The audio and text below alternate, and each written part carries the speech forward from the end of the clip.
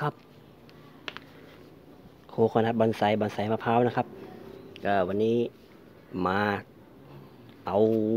เออบอนไซมะพร้าวนะครับ ลงกระถางอีกหนึ่งอันนะครับผม จะลงในแบบที่ว่าโชว์รากนะครับ เหมือนเหมือนเหมือนคลิปที่แล้วนี้นะครับ ผมก็มีคนเห็นแล้วก็มีคนตอบรับได้ดีมากเลยครับ ถึงขนาดว่าถามเลยว่าอ่า จะขายไหมอะไรเงี้ยครับ ผมบอกว่า ไม่รู้จะตีราคาขนาดไปยังไงครับ ก็เลยยังไม่ได้บอกว่าจะจำหน่ายอะไรเงี้ยครับ ผมวันนี้ก็ได้เริ่มทำมาอีกอันหนึ่งแล้วนะครับ แต่อันเนี้ยจะเป็นมะพร้าวน้ำหอมครับ ที่ผมเอามาทำนะครับ ผม นี่ครับนี่ลูกเล็ก ลูกเล็กนะครับนี่แล้วรากมันสามารถทำได้นะครับเนี่ยเออก็โอเคนะครับรากมันนั่นได้นะนี่ลองดูความแข็งแรงนี่นี่เห็นไหมมันสามารถจับแล้วมันลอยได้นี่ครับนี่นี่ครับ อันนี้ยานี่ยาอ่อนเดียวยังไม่เสียงนี่ ก็เป็นการทำแบบโชว์รากได้นะครับ อ่ามาผมก็ได้เตรียมกระถางมาแล้วนะครับ กระถางเนี่ย ผมก็ใส่เยื่อมะพร้าวที่ว่าฉีกนะครับ ใส่ไว้ทั้งใต้ก้นนี่ไว้ครับ อันนี้ก็จัดการ เอาเนี่ยดินนะครับ ดินดินขี้หมูกับขุยมะพร้าวนะครับ ใส่ไป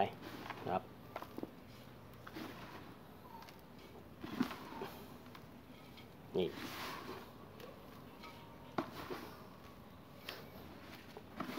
อืม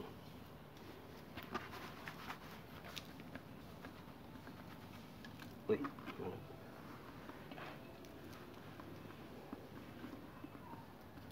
ม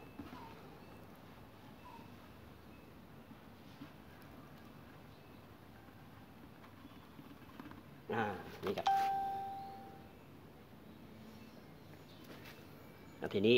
เราก็มากะครับ ว่าเราจะอยู่ประมาณไหน นี่แค่นี้ก็ได้ นี่ แค่นี้ก็อยู่แล้วนะครับ อันนี้เราก็รดน้ำเอารดน้ำเพิ่มความแน่นนะครับ คือไล่ไล่อากาศออกจากดินนะครับ มันจะได้เพิ่มความหนาแน่นนะครับ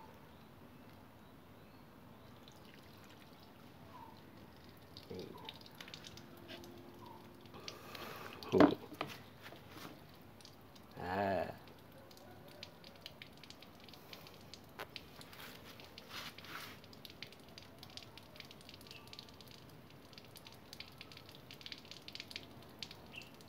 ใช้น้ำไล่อากาศที่มันในดินนะครับ นี่ ง่ายดีไหมครับ อันเนี้ย เดี๋ยวลดน้ำเพิ่มอีกทีนะครับ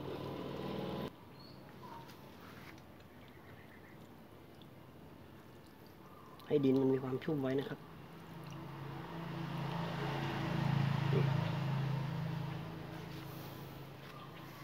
ให้น้ำมันซึมแบบให้ไล่อากาศออกไปฮะมันดินจะได้ไม่ไม่โป่งมากนะครับ ผมทีนี้มันก็จะได้ล็อกลากให้อยู่ได้นะครับ เนี่ยแค่นี้เองนะครับ เป็นการเพิ่มความอ่าความแน่นความนั้นอ่าแน่นให้ให้ดินที่มันอยู่ในกระถางนะครับมันแน่นขึ้นได้ล็อกตัวนี้ให้อยู่ได้นะครับ เนี่ย ก็ลองทดลองทำกันดูนะครับผมเอเกี่ยวกับการทำบอนไซมะพร้าวนะครับ มันไม่ยากหรอกครับ แต่เพียงแต่ว่ามันต้องใช้เวลาเท่านั้นเองนะครับ ผม ถ้าจะเริ่มทำตอนนี้ก็ยังทันนะครับ ดูใกล้ๆกันครับ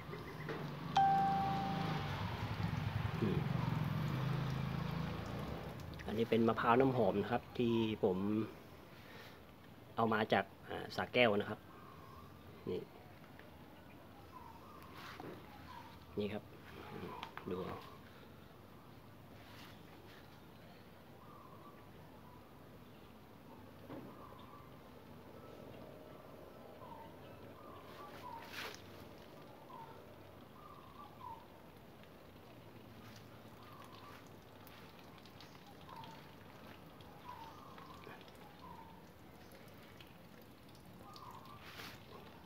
นนี้ก็เป็นอ่าอีก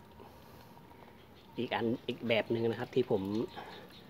ได้ทำแล้วก็เอาลงคลิปให้ดูนะครับ มันเนี่ยในส่วนของรากนะครับ รากที่เห็นเนี่ยมันเป็นรากมันเป็นสีน้ำตาลแล้ว มันจะมีความแข็งแรงนะครับ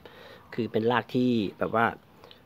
มันแก่แล้วครับ แล้วมันมีความสมบูรณ์แล้วนะครับ มันก็จะสามารถทำให้ ค้ำยันลูกกะลานี้ได้นะครับ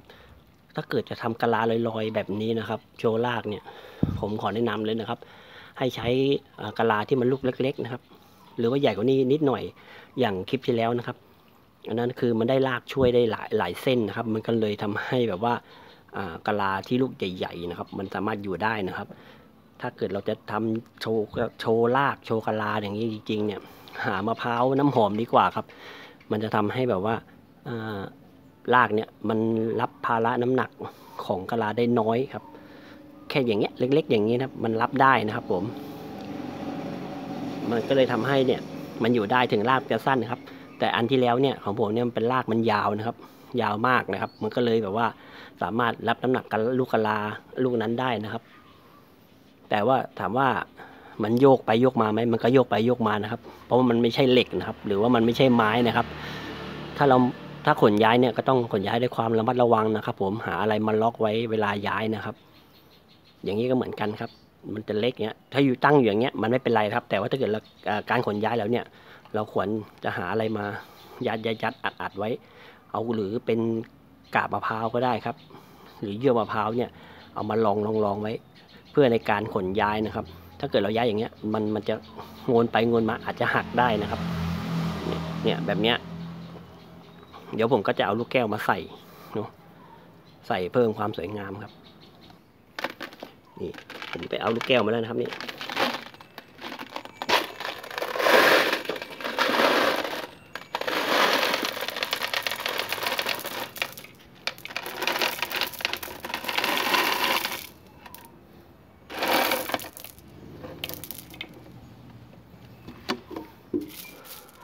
แก้วอาจจะน้อยหน่อยครับ เพราะว่าเมื่อวานก็ใส่กระถางที่แล้วไปนะครับ มันก็เลยดูน้อยๆนะครับนี่เอา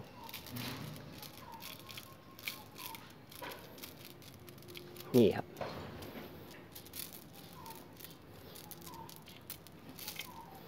ก็อาจจะแปลกๆตาหน่อยนะครับแต่ว่ามันก็โอเค นี่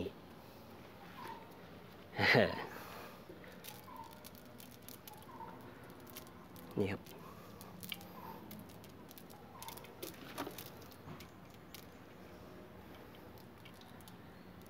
ก็ถ้าเกิดใครมีลูกแก้วก็ทำอย่างผมได้นะครับ แต่ถ้าเกิดใครมีแบบว่าอ่าพวกหินพวกอะไรเงี้ย ก็เอาพวกหินพวกนั้นมาใส่ครับ มันจะเพิ่มความสวยงามไปอีก เอางี้ ผมเอานี้ออกดีกว่า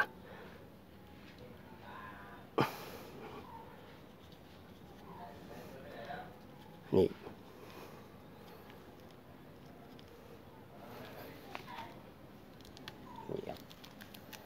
ให้ดูกะลาเนาะว่ากะลาของผมนะมันโอเคไปยังไงสวยไหมครับโอ้ระวังระวังหน่อยนึงนะครับลงเยอะออกตั้งแต่ตอนก่อนจะใส่แต่ก็ดีกว่า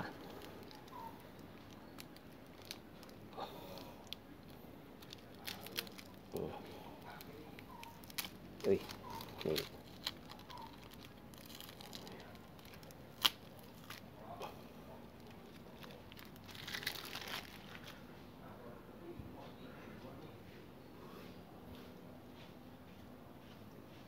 นี่ครับ กระดาษไอกระดาษเนี่ยแหมกระดาษกระดาษบะกระกระดาษเนี่ย ผมใช้อ่อป้องกันอันนั้นนะครับ ป้องกันกระลามันแตกนะครับ เพราะว่ามันต้องมันเจอแดดเจออะไรเงี้ย ก็เลยต้องใช้กระดาษเนี่ยป้องกันไว้ แต่ตอนนี้ไม่ต้องละโปะไว้ในร่ม มันก็ไม่โดนแสงแดดเลยจ้าๆแล้วนะครับ โอเคครับผมเป็นไงกันบ้างครับ ดูคลิปแล้วก็นะครับฝากกดติดตามนะครับ กดไลค์กด dislike กดแชร์ ชอบก็กดไลค์ไม่ชอบก็กด dislike หรือถ้า ทักทายก็ comment เกี่ยวกับเนื้อหาในคลิปนะครับ ผมทักทายกันมาได้นะครับ ก็คลิปนี้ก็คงจะมีเพียงเท่านี้แล้วครับ ผมก็ไม่อยากพลาดคลิปหน้าก็หลายก้อนแล้วครับ